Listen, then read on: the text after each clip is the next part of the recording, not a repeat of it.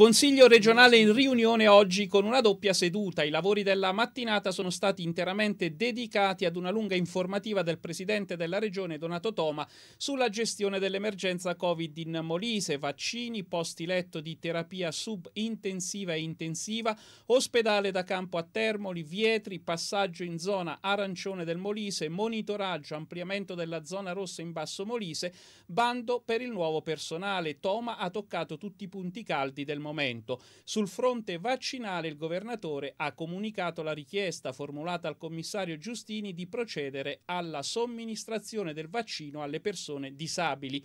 Sul tema dei letti, Toma ha chiarito la quantificazione dei posti di terapia intensiva che nelle scorse settimane erano stati oggetto di polemiche e dubbi. Sono 39 complessivamente tra quelli presenti negli ospedali pubblici e quelli resi disponibili dai privati. Quelli allocati presso il Cardarelli sono 12. Dati, ha precisato, forniti ufficialmente dalla struttura commissariale. In ogni caso, ha detto il governatore, qualora si verificasse la saturazione saturazione delle unità disponibili è possibile ricorrere al meccanismo della cross, cioè il trasferimento dei pazienti in altre regioni. Al momento sono sei le persone che sono state già trasferite. Alla necessità per i posti in subintensiva si è fatto fronte, ha detto sempre il governatore, con le unità attivate presso l'ospedale Gemelli, presso cui sono ricoverati al momento 16 pazienti su un totale di 20 posti disponibili disponibili estensibili a 54.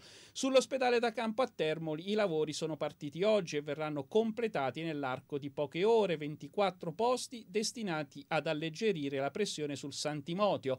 Intanto vanno avanti anche i sopralluoghi al Vietri per ulteriori posti di terapia subintensiva.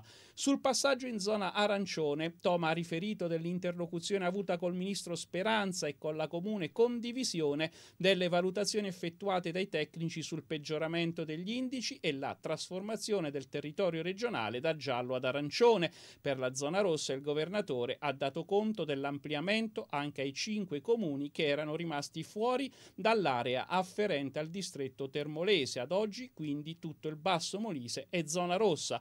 Sul fronte del personale necessario per le strutture sanitarie, Toma ha comunicato la chiusura del bando emanato attraverso la protezione civile per il reperimento di 60 43 unità tra medici, infermieri e operatori sociosanitari.